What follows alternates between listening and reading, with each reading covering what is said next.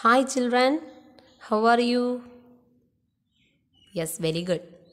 So, dear children, today we are going to complete the addition word problems. Okay, in page number 27, we already completed six questions, isn't it? First three in our last class we have completed. Then three questions are your homework questions, isn't it? Yes. So, today we are going to complete the balance questions. Okay, children? Yes. So the first question is question number G. A car dealership sold 7,12,018 vehicles last year and 64,380 vehicles this year. How many vehicles in total were sold in these two years? So in last year the car dealership sold 7,12,018 vehicles. Okay. Then this year 64,380 vehicles. We want to find out the total number of vehicles in these two years. Okay. So first we want to write the steps. Okay. In last year, how many? Yes, 7 lakhs 12,018. In this year, 64,318, isn't it? 64,380. We want to find out the sum total, isn't it? Yes. 8 plus 0, 8. 8 plus 1, 9. 0 plus 3, 3. 4 plus 2, 6. 6 plus 1, 7. Again 7. So total 7 lakh 76,398 vehicles sold. Okay. In these two years. Okay. Then question number H. A company made a revenue of 10 lakh 34,678 in 2015 and 2 crore 34 lakhs 56,789 in 2016 and 5 crore 43 lakhs 45,678 in 2017. How much total revenue did the company make in these three years? So we want to find out the total number of these three numbers. Okay.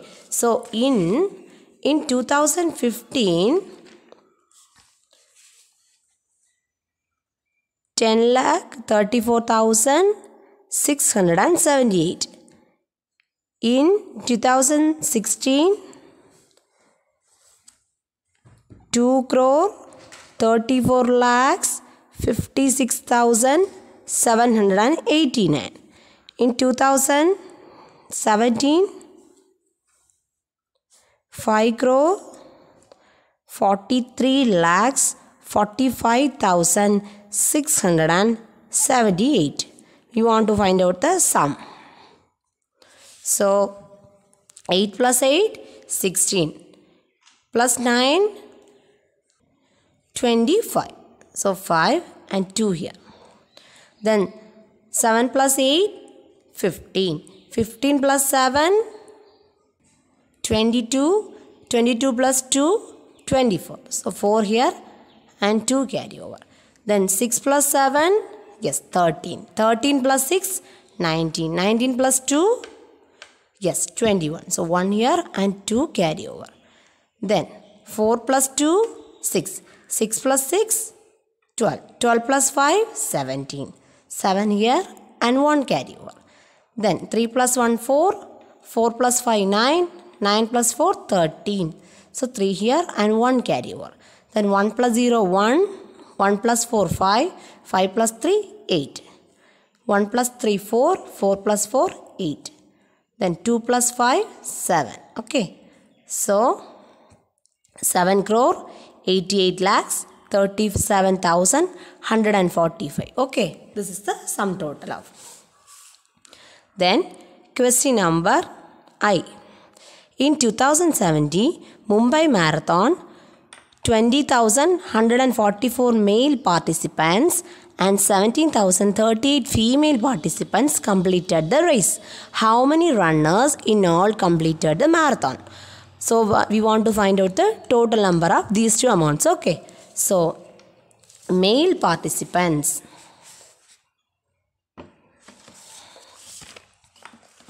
Male participants. How many?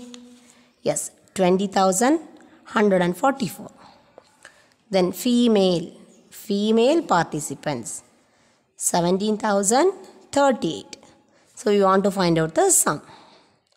So 4 plus 8 plus 4 yes 12 so 1 carry over then 4 plus 3 7 plus 1 8 1 plus 0 1 0 plus 7 7 2 plus 1 3 so the totally there are 37182 peoples completed. The marathon. Okay. So then question number j a flower show had 21,500 visitors on Saturday and 28,965 visitors on Sunday. How many people in total visited the flower show over the weekend? So we want to find out the total of these two numbers. Okay? Yes. So in Saturday, how many? Yes, 21,500 visitors. In Sunday, how many visitors? 28,965 visitors. So sum equal to 0 plus 5, 5. 0 plus 6, 6. 9 plus 5, 14. Balance 1. 8 plus 1, 9. 9 plus 1, 10. 0. Carry, 1 carry over. Then 2 plus 2, 4. 4 plus 1, 5. So there, there are 50,465 peoples visited on the flower show. Okay? Yes. So the question number K, L, M, N. These four questions are homework questions. Okay, children? You should complete these four questions. Okay. We will meet at our next class.